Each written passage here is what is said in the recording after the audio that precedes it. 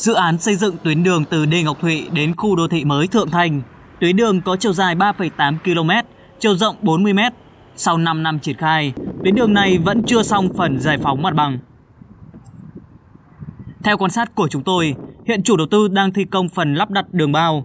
Nhiều đoạn công tác săn lấp mặt bằng vẫn chưa xong. Phần thi công lắp đặt đường ống thoát nước vẫn đang tiếp tục được hoàn thiện. Một số người dân sống gần dự án không khỏi bức xúc trước việc thi công cầm chừng của dự án này. Một hai cái máy với ba bốn người này làm gì có người.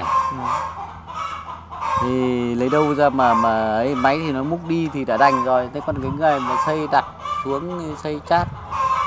Đấy cái đội xây chát cái cả giờ mới lấy được một đội mới là mới ra kia kìa. Chứ không thì chỉ ba bốn người làm gì mà có ai đâu.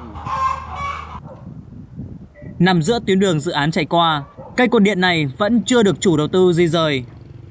Theo tìm hiểu của chúng tôi, một phần diện tích của dự án này vẫn chưa được giải phóng mặt bằng. Chỗ chỗ đây là người ta bồi thường rồi, như đây đây người ta đã chắc là chưa bồi thường là nói chưa múc cái chứ.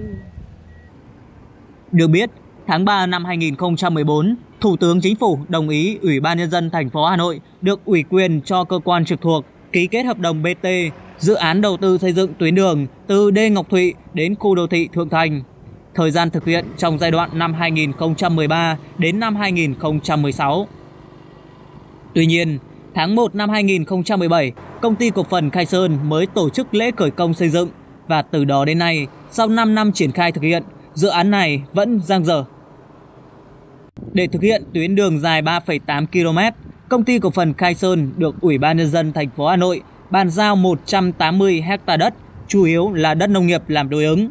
Qua đó, toàn bộ diện tích đất đối ứng sẽ được chủ đầu tư xây dựng khu đô thị Khai Sơn City. Tuy nhiên, khu đô thị thì xây dựng sai quy hoạch thành các căn biệt thự, dự án đường từ Đê Ngọc Thụy đến khu đô thị Thượng Thành thì thi công chậm tiến độ.